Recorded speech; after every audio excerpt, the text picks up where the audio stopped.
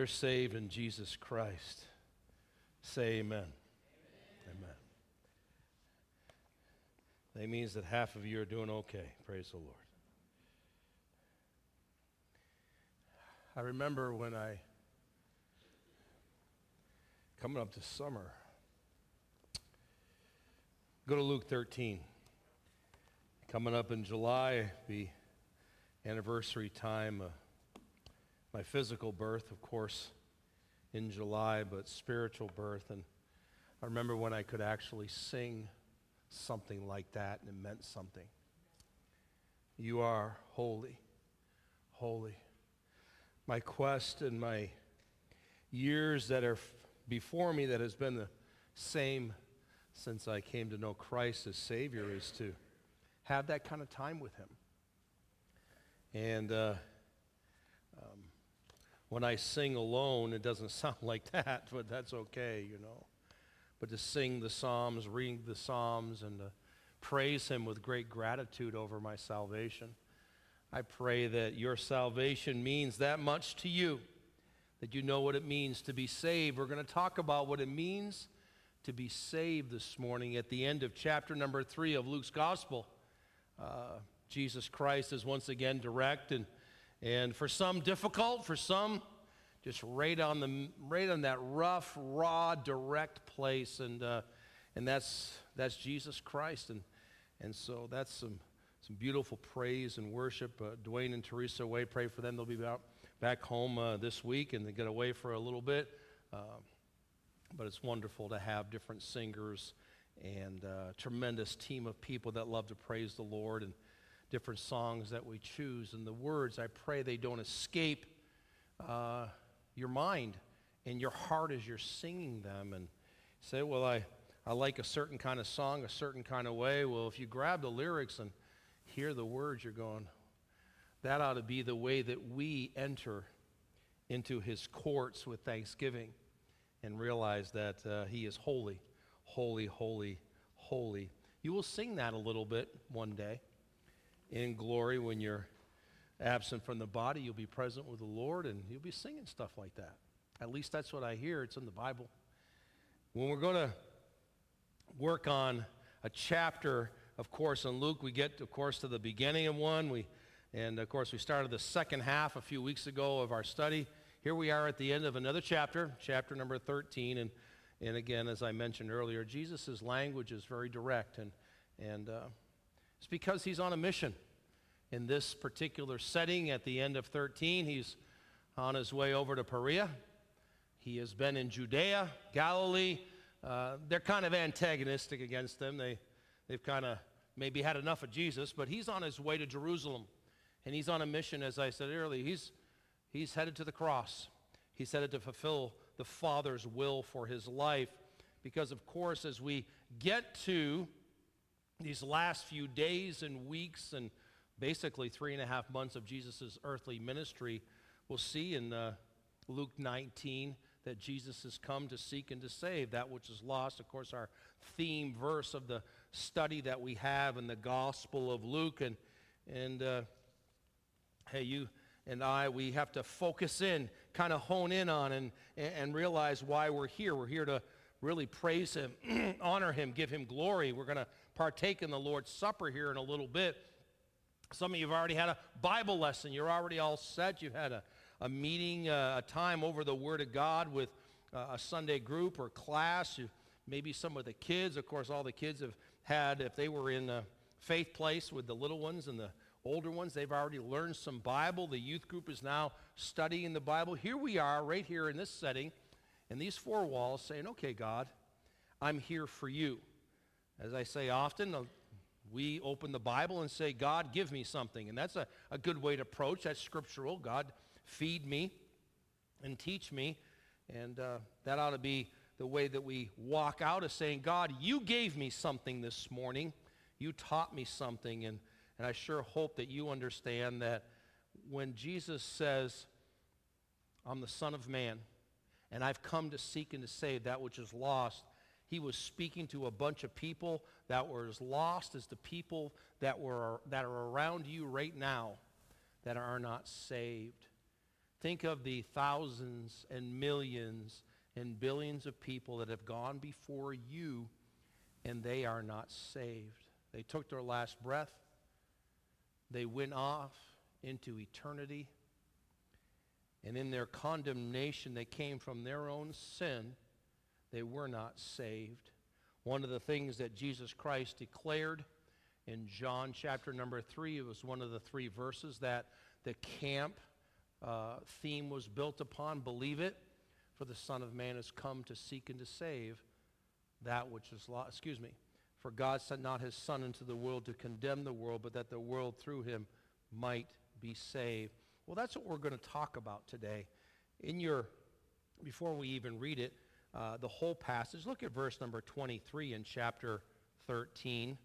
And it says, Lord, are there few that be saved? That is a powerful statement right there. You say, well, that's a question. Yes, it is. But it's a powerful statement. That means that the premise from the crowd, and we don't know who asked it, but somebody asked it in that crowd of people in Perea as Jesus has now made his way there. If you looked at John's gospel in chapter 9 and 10, they would kind of fit right into the text of verses 21, 22, 23, where Jesus again is headed into Jerusalem, but on his way, he stops off at different places. Consider this landmark statement in verse number 22 that it says that he went through cities and villages teaching and journeying toward Jerusalem. He's definitely making it clear out in front of everybody hey, I'm on that mission. I'm headed to Jerusalem. Go to Luke chapter number 9 real quick. Luke 9, verse number 51. Another linchpin statement by Jesus Christ. And it came to pass when the time was come that he should be received up. Luke 9:51 he says, he steadfastly set his face to go to Jerusalem. From that point, Luke 9 another reminder in Luke 13 and all the way through chapter number 19 before that Passion Week, Jesus Christ has let people know what I am doing, where I'm heading, and I am purpose filled and I am focused. Jesus Christ is dealing with the audience. He's interacting, he's preaching, he's teaching, he's giving them harsh warnings to the crowd, the scribes, the Pharisees, the disciples, the hypocrites. And so as we look at the text today, Luke 13, I simply entitled it Direct Jesus. We have spoken about this method by which Jesus talks to people. And in this case, we're going to look at his directness over salvation. Last week, we looked at fruit. My Christianity, is it a fruit filled life or am I living a failed filled life? You say, oh, you're just being so harsh and judgmental and mean and critical. I'm looking at Scripture, and Jesus Christ is talking about fruit. He's talking about to the Pharisees, the scribes. He's speaking to the crowd at hand there in uh, the few verses just before the end. And he's saying uh, in Luke 13, hey, you know what? You guys need to say, I mean, put up, uh, you say certain things, but your actions don't match. You, you, you say that you, uh, you're really a follower of me. You say that you really believe in me, and yet you're like that group in John 6 that decided as disciples to no longer follow Jesus Christ. That's where we were last week. And here we are now in our study. And as we looked at that, those two little parables of Jesus Christ uh, and using the leaven and using the mustard seed, and how we saw that Jesus Christ healed in the synagogue a woman that was bowed over. She was bowed over for 18 years, and they criticized him for that. We now see Jesus Christ answering back to someone about how many people are saved. Again, I want you to think before I read this passage of Scripture. How many people do you know that have never gotten saved? A mission trip is good, of course, going to a foreign field. A big camp is good to see all kinds of kids around and think, wow, I wonder if all those kids are saved, they're born again. You see, it is a Bible term. And yet, we may not even use it very much when we talk to people. Are you saved?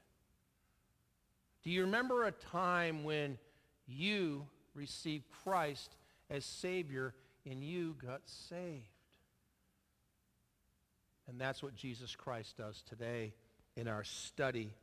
I want you again to consider your salvation as we are going to come to the Lord's Supper and be reminded of how direct Jesus Christ can be when it comes to the doctrine of a fruit-filled and fruit-bearing life, the doctrine and truth of a saved life. Are you saved today?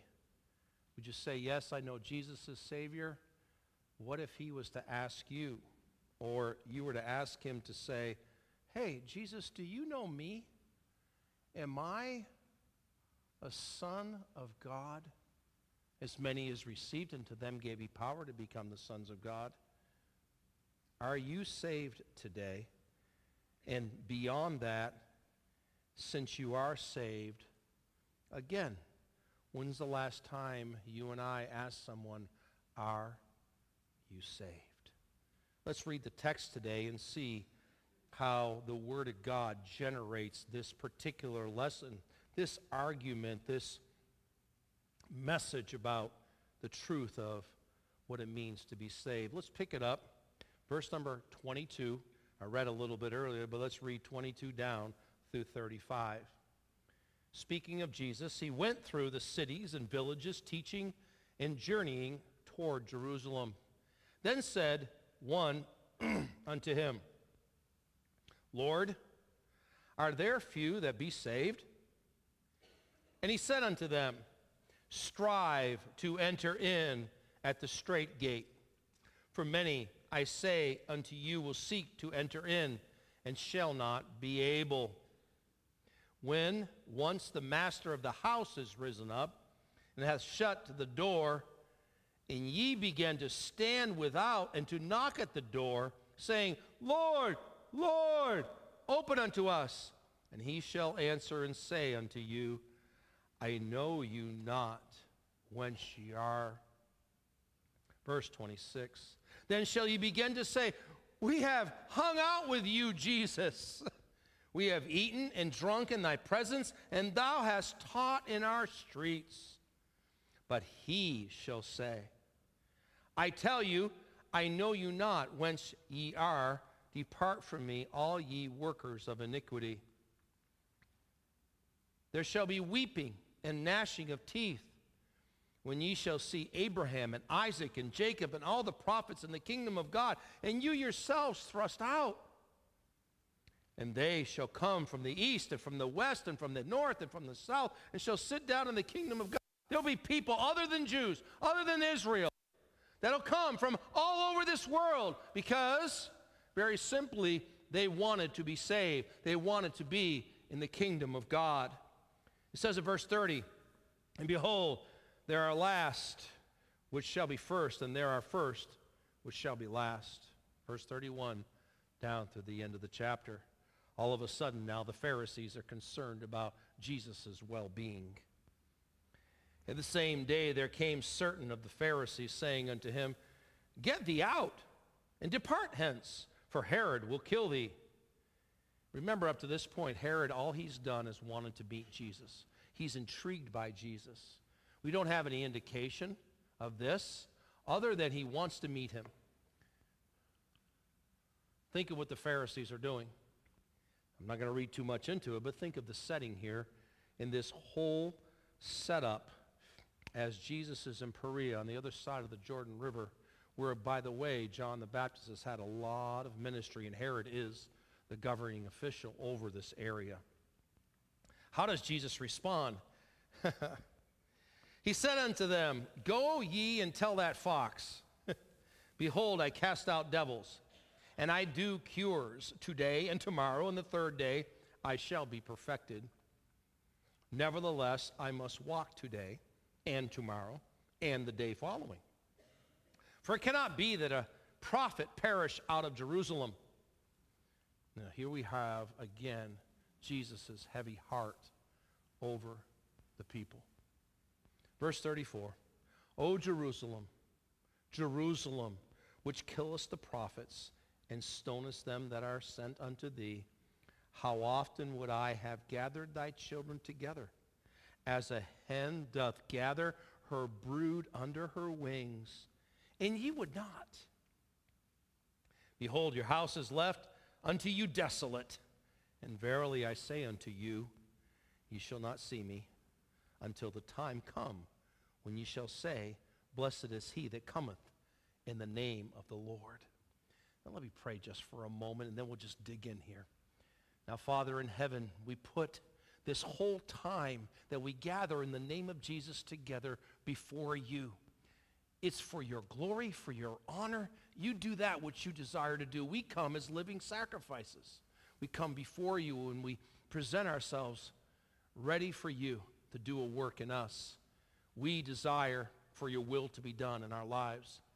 This text talks about so few being saved. I pray that as we look at how direct you are, Jesus Christ, that will gather and grasp the brevity and seriousness of all those that are not saved. The term to be saved is important, and that we will walk out after our time together going, Lord, I'm so thankful that you saved my soul, that you made me whole. God, have your way in our time of meeting over your word right now. In Jesus' name, amen. Amen. I mentioned it earlier and just setting up the text, but as Jesus moved toward Jerusalem, he went to Perea as people in Judea had become and had, be, had become, had became. I don't think that's proper English. Could you please fix that? Strike that from the record. Had become more antagonistic. It says in John chapter number 10, I mentioned that there's a, a setting of John 9 and 10 that tie together with this setting historically and chronologically. It says in verse number 40, it's up on the screen, and Jesus went away again beyond Jordan to the place where John at first baptized, and there he abode, and many resorted unto him and said, John did no miracle, but all the things that John spoke of this man were true, and many believed on him there. That is the setting and the setup. This is where we are historically setting that groundwork. Now, doctrinally, the end of Luke 13 delivered one of those unabashed questions from an individual in a crowd. We don't know, it doesn't say who it is, but in this crowd, this person is asking a question about the number one subject salvation, how to be saved. Lord, are there few that be saved? That is a strong, strong question. It really even puts before you the realization that in the crowd of people listening, that they understand that not many people get saved. Not many people are in after the door is closed. Not many people are at the feast and the meal, and those Jews are going, hey, Abraham's there, and Isaac and Jacob. We want to be there. Jesus deals with that because we are talking to the Jews. But we're also talking to the rest of the crowd. There's a lot of Gentiles around from the north to the south, the east, the west. This is the final three and a half months of his ministry. His uh, earthly ministry, Jesus Christ, is really filled with, again, this heavy heart for people, even though he was around a bunch of people that wanted him dead. I just couldn't get their way yet. The many types of people whom confronted Jesus Christ in the final few months gained, I see it as brashness. The more you study it, the more you read it. They grabbed a boldness toward the Savior of the world. Was it curiosity? Maybe it was. Maybe it was contention, or maybe it was even contempt. Familiarity does breed contempt. I find that sometimes in being around people, uh, believers in the Lord, maybe sometimes we get a little bit extra comfortable with one another and we, we kind of push what we talk about, or maybe we become a little disrespectful. The people here in the crowd, that again, through Judea, they had become brash mean spirited. I mentioned, I think, last week or the week before in the text of chapter number 12 and 13, it's almost as though we couldn't differentiate between this innumerable multitudes of people and the Pharisees and the scribes and the Sadducees and the religious people of the temple that were mean spirited. Almost like everyone around Jesus, with the exception of a small percentage, were being mean spirited. Again, brash bold. And then we have this question Hey, are there that few people that are really going to get saved? Just by the premise of the question, just by the thinking that had to be behind that question. If you like history a little bit, biblical history, that's one thing, just reading through Scripture and thinking about the people groups that are in the Bible but history in general, how many millions and millions? I said it earlier. Think of the wars.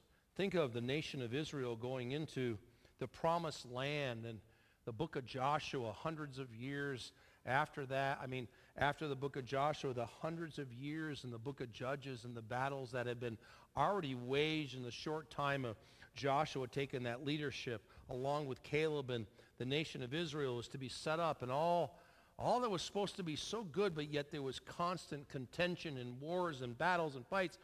How many of those people groups, how many people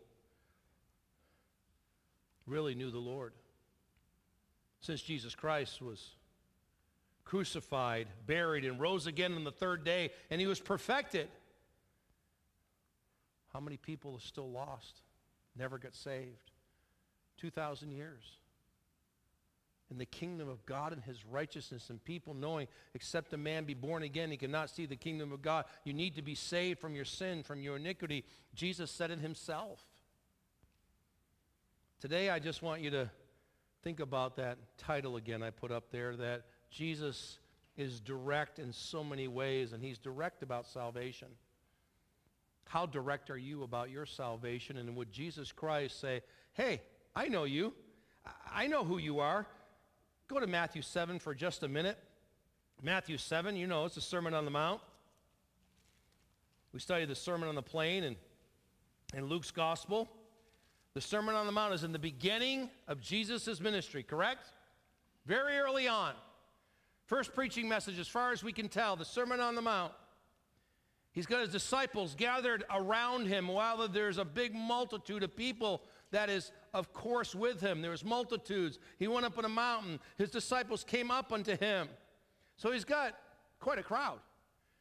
And in verse number 21 of chapter number 7 in the Sermon on the Mount, it says, Not everyone. Here's Jesus Christ speaking. The red letters that saith unto me, Lord, Lord, shall enter into the kingdom of heaven, and he that doeth the will of my Father which is in heaven. Many will say to me in that day, Lord, Lord, have we not prophesied in thy name, and thy name have cast out devils, and in thy name done many wonderful works. It's kind of like the way Jesus is speaking in Luke chapter number 14, excuse me, 13, about, hey, there'll be people that'll say they eaten and drunk in my presence and taught in the streets. And he says, as we go to Matthew 7, that simple statement in verse 23, and then will I profess unto them, I never knew you. Depart from me, ye that work iniquity. That's the lost, those that are not saved. Luke chapter number 13. So the question is, does Jesus know you? Does Jesus know me? So I call on. I know Jesus is Savior. Amen. What if we were willing to say, Jesus, do you know me? What would he say? Would he say, yes? I remember when you gave your life and you trusted in my life that I gave for you. You are one of the sons of God. So that's how each one of these simple lesson points come at you is in this direct Jesus, does Jesus know you? Well, let me put up the first one. You'll grab where I'm at going. Does Jesus know you? the question of salvation. Ex- expect the Son of Man to answer purposefully with no apologetic words. Agreed? Jesus Christ is going to answer unapolog- unapologetically. He's not going to use any apologetic type of words when he answers what it mean what about this simple question. Lord, are there few that be saved? I wonder how many people in percentages want a deep doctrinal knowledge of what the Bible teaches, and yet they have such a shallow witness for the gospel of the Lord Jesus Christ. We're so about arguing and fighting and wrestling and having apologetics over so many matters. And those doctrines are so very important, yes. But we're desirous of deep doctrinal knowledge, and yet we're shallow in gospel witness, and there's people that are not saved. If Jesus Christ is answering a direct, direct question from somebody in the crowd asking about, are there so few that be saved? Would that apply today? I know it's 2,000 years ago in the setting, but are there that few that be saved? There's very few. Very, very few. Go to Romans chapter number 5, a familiar passage we've used once or twice. And since the Bible is filled with great answers and great text, and you find a couple of good ones, sometimes you just kind of kind of use them again and again. Romans chapter number 5, I put up a few verses up there, verses number 7 through 10. Of course, this text, if you take Romans 5, 6, and 7 and that's all you had from a Bible, I think you would do pretty well to grab a lot of doctrine. Justification, propitiation, the forgiveness, everything that you need to know about faith, dead in Christ. It says in verse number 7, For scarcely for a righteous man will one die, yet peradventure for a good man some would even dare to die. But God commended his love toward us in that while we are yet sinners, Christ died for us. Here we go. Now, here we go much more then, being now justified by his blood, we shall be, we shall be from wrath through him, to be saved from wrath. Verse 10, I think we got something more here. For if, when we were enemies, we were reconciled to God by the death of his Son, much more being reconciled, we shall be by his life. We're saved from the wrath, and we're saved by his life. It's an important, so very important scriptural doctrinal truth. Talking to somebody about this subject is such a good thing. It might not be your first or second time of talking to people about Bible things, but you got to get here quickly because of the simplicity of the question that someone asks with innocency and yet so much meaning. Lord, are there few that be saved? Jesus said a little bit more than, yep. Does Jesus know you? He will purposefully, with no apologetic words, speak about salvation. Secondly, does Jesus know you? The question of salvation. Back to Luke chapter number 13. Expect the Son of Man to answer profoundly with piercing personal words.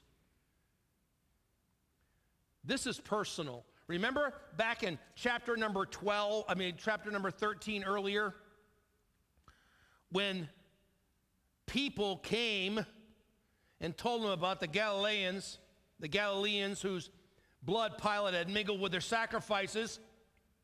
And Jesus answered and said, Hey,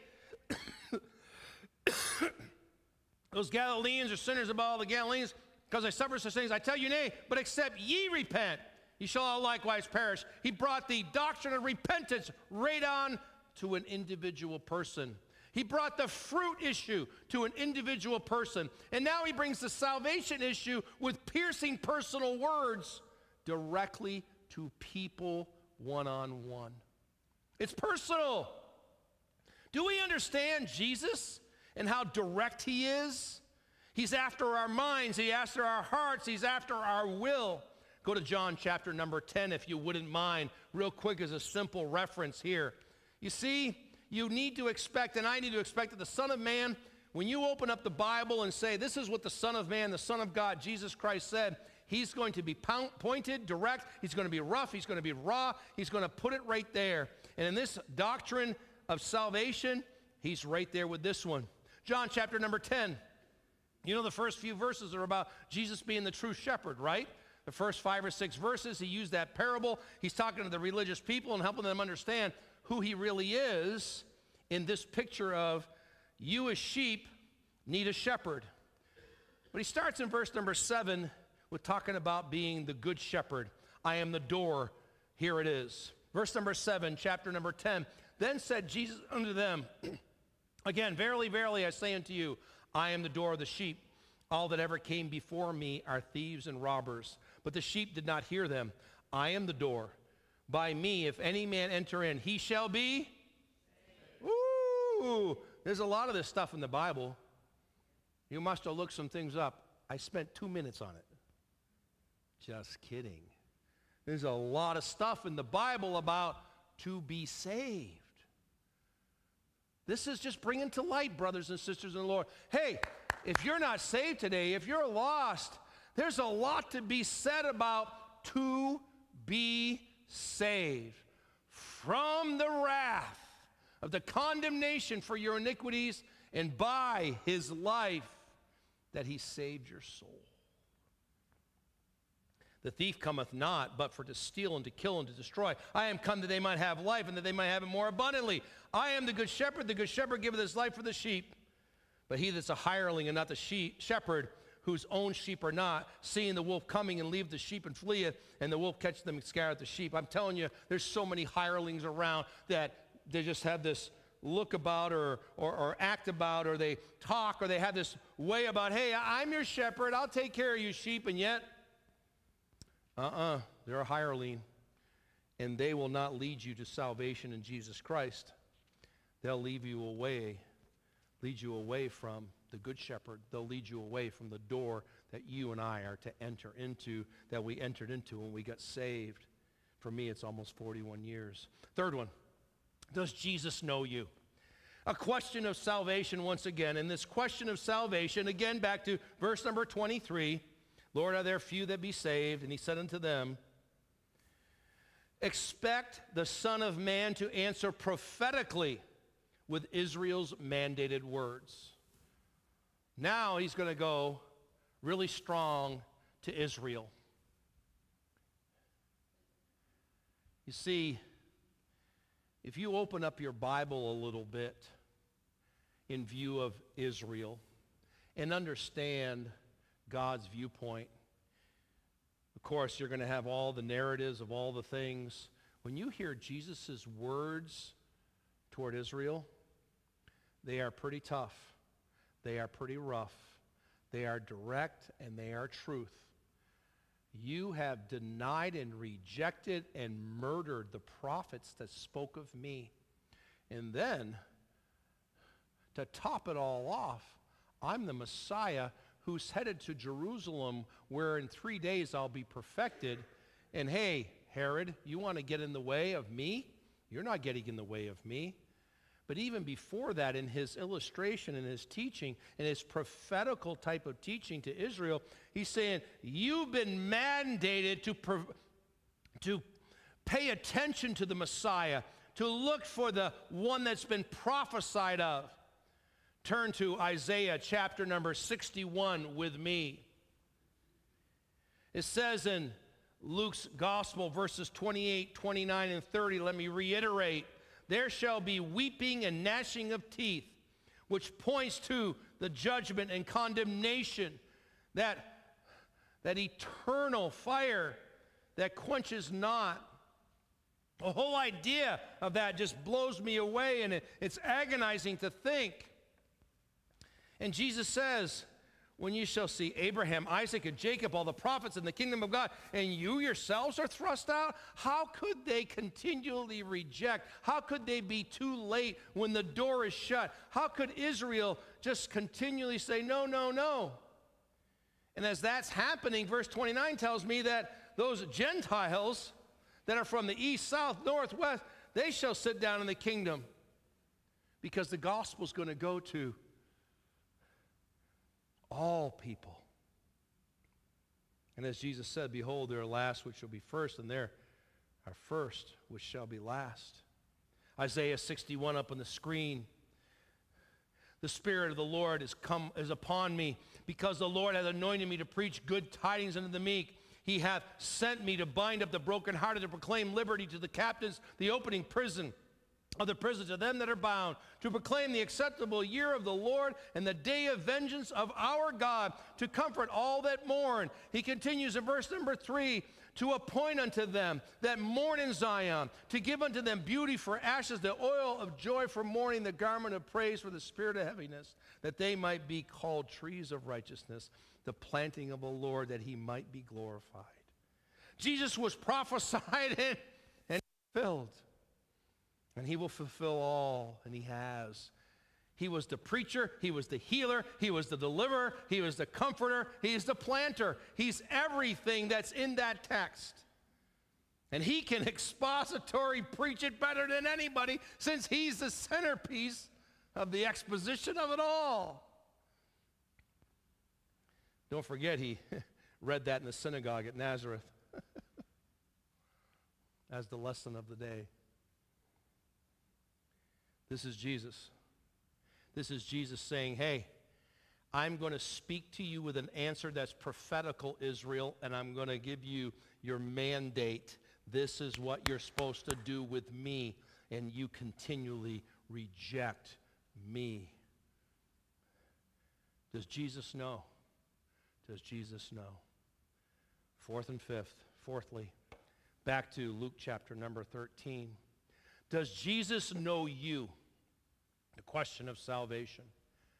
You can expect the Son of Man to answer proverbially. He's going to speak and answer proverbially, like with a little proverb, but he may have a little bit of sarcasm. Has anybody ever noticed that the Bible has a neat batch of sarcasm in it? I kind of like that. It gives me a good chuckle now and then. Jesus is going to give you a chuckle right here. I'm sure you already stopped and went, hmm, what kind of animal is a fox? Oh, they're sly. they're scavengers. They're cunning. They usually try to go and find food at dark. It's interesting that Jesus Christ calls Herod a fox. I was joking. Well, actually, it wasn't. It turned out to be a chuckle, but it was kind of good when Derek Thomas said, You know, it's kind of funny how Jesus is there with, of course, already some sarcasm, and he says, he says to me, Brownie, I was thinking of something I, I needed to tell you after service. He says, Jesus Christ tells him, Hey, I cast out devils I cure people. You're just a little tiny fox. Who do you think you are? You're a fox? Oh, King Herod, he's the man. And he said unto them in verse 32, Go ye and tell that fox, I cast out devils, I do cures today and tomorrow, and guess what? I'll be resurrected on the third day. And you're a fox. I added that. That's not in my that's in my Bible in the column over here. I got a wide margin. Verse 33 says, Nevertheless, I must walk today, tomorrow, and the day following, for it cannot be that a prophet perisheth out of Jerusalem. because they've killed every prophet that went to Jerusalem to tell them. Things are going to happen there. My death, burial, and resurrection is going to happen there. Oh my. Jesus Christ, he does use a little bit of proverbial sarcasm. John chapter number 7, if you want to join me there, real quick look. This is the quick look passage. It's up on the screen. I just grabbed uh, 28 through uh, 30. of course, he's in Jerusalem again. In this particular setting, and we again see Jesus Christ dealing with divisions, meanness, Pharisaical teaching. We'll just grab 28. Then cried Jesus in the temple as he taught, saying, You both know me, and know, you know whence I am, and I am not come of myself, but he that sent me is true, whom you know not. But I know him, for I am from him, and he has sent me. Verse 30. Then they sought to take him, but no man laid hands on him because his hour was not yet come. That was spoken of more than once. Remember Jesus in the miracle at Cana. It's not my time. It's not time yet. And you are not going to stop my heavenly Father from fulfilling his will in me, no matter what you think you have the power to do. Verse 31 says, And many of the people believed on him and said, When Christ cometh, will he do more miracles than these which this man hath done? do you pick up on this stuff? Remember verse 32 and on. The Pharisees heard the people murmured and such things concerning him, and the Pharisees and chief priests sent officers to take him. What do they want to do? They want to rush up the timeline, but you're not going to get in the way, get in the way of Jesus Christ. He used a little proverbial statement to speak about Herod. And as the Pharisees are told to bring that statement, he's using them as well to minimize their importance, though they think they're the most important in the room. Our last little point of reference in our lesson today on direct Jesus. Does Jesus know you? The question of salvation. Expect the Son of Man to answer passionately with lamenting words. Now we capture this part of Jesus in his own words. Verse 34. O Jerusalem, O Jerusalem, which killest the prophets and stonest them that are sent unto thee. How often would I have gathered thy children together? I would have taken care of you. As a hen doth gather her brood under her wings, and ye would not. Go to Psalm 118 with me real quick, and then I'll finish up over in Isaiah again. Go to Psalm 118. Behold, your house is left desolate to you, left unto you desolate. And I verily, and verily I say unto you, you shall not see me until the time come when ye shall say, Blessed is he that come in the name of the Lord. Woo, Israel, you people that have to listen. Jerusalem, there's quite a crowd that's gathered here in Perea as he's speaking to them. And he's covering the vast expanse of people groups and the cultural background of lost, of saved, of believe, of half believe, of hypocrisy, of a Pharisee, of a scribe. He's got them all in the audience. It says in Psalm 118, verse 25, Save now, I beseech thee, O Lord, O Lord. I beseech thee, and send now prosperity. Where does this passage, where does this verse come? Verse 26 of Psalm 118. Blessed be he that cometh in the name of the Lord. It continues. We have blessed you out of the house of the Lord. God is the Lord, which hath showed us light. Bind the sacrifice with cords, even unto the horns of the altar. Thou art my God, and I will praise thee. Thou art my God, I will exalt thee. Oh, give thanks unto the Lord, for he is good, for his mercy endureth forever. Woo, that's a powerful statement of holy God about himself and about his son. His mercy endures forever. Isaiah chapter number 9, it's up on the screen. You can't miss with this one, verses 6 and 7. For unto us a child is born, unto a son is given. And I know we only read this at Christmas time, my goodness. Would we not just read this in the prophetical context of Jesus Christ speaking to Jerusalem? And he laments and he's brokenhearted over them. I am come for you. I want to be your king. And the government shall be upon his shoulder. His name shall be called Wonderful Counselor, the Mighty God, the Everlasting Father, the Prince of Peace. Of the increase of his government and peace, there shall be no end. Upon the throne of David, he's king.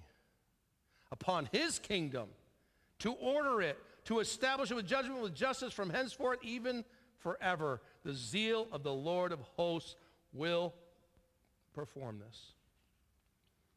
Jesus Christ. He is all. He's the one by which we are to be saved. You know it says in Acts chapter number 4, neither is there salvation in any other name. There is another name under heaven given among men, whereby we must be. Acts chapter number 2, and it shall come to pass that whosoever shall call upon the name of the Lord shall. Acts chapter number 15, but we believe that through the grace of the Lord Jesus Christ we shall be even as they. Acts chapter number 16, this guy, this prison keeper, one of the coolest stories in all the Acts of the Apostles. Oh, Paul and Silas, they sing, they get broken out of jail. The prison keeper says, What do we do? And brought them out and said, Sirs, what must I do to be saved? And they said, Believe in the Lord Jesus Christ, and thou shalt be in thy house. You know, that's in the Acts. You know, Jesus said it himself. I just put three verses up here. You go and study it out. Jesus said it. Jesus said it. John chapter number three. I said it earlier, for God sent not his son into the world to condemn the world, but that the world through him might be. John 5 34. But I receive not testimony from man, but these things I say, that ye might. I wanted to do the be saved, so there you go. So I messed you up. That ye might be. Yes, we're doing better now. You need a good lead in. And remember what John 10, 9, I left it there on purpose for this right now. I am the door by me. If any man enter in, he shall be and shall go in and out and find pasture. Saved. Saved. Saved. Now think of how many people you know that aren't saved. I mean it. They start going through your filing cabinet. I know you're glad you're saved. You got to be. So as we come to the Lord's Supper, let's rejoice in being saved. What words would Jesus Christ speak to us personally if we were to ask him, Jesus, do you know me? Jesus? I mean, Jesus asked Peter, do you love me? What kind of answer would Jesus? Well, I know you, I know you're saved. But maybe not, I don't know. That's between you and him. But how many other people that you know can sing songs like this, rejoice in this, pray like this, and take the Lord's Supper and say, I'm not saved. I need to be saved. We enter into the Lord's Supper forever grateful. I say this all the time for our salvation in Jesus Christ. Would you please stand with me and bow your heads for a word of prayer? Bow your heads. Let's pray to the Lord over the Lord's Supper as I have Bobby come and Randy, can you help me out a little bit? Why don't you bow your heads? Let me pray over you. Cindy, I mean, uh, excuse me. Debbie, would you please pray? play in background. Father in heaven, I come to you in the name of the Lord Jesus Christ. Thank you, thank you, thank you for your word before us. What a question. Lord, there'll be so few that are saved. Oh my. Jesus, uh, Thank you for your directness. I needed this today. We all need it. Thank you for saving our souls and teaching us what it means to be saved. Now we come to your communion and Lord's Supper time, the memorial of the Passover. I pray, be honored and glorified. Grab a hold of our hearts as we remember what you did for us, Jesus. We praise these things in your name. Amen.